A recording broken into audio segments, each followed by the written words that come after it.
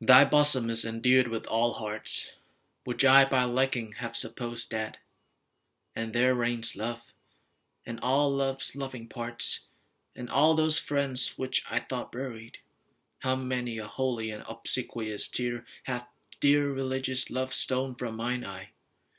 As interest of the dead, which now appear But things removed that hidden in thee lie!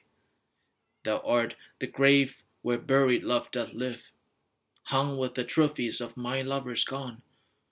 Who all their parts of me to thee did give: That due of many now is thine alone; Their images I loved, I view in thee,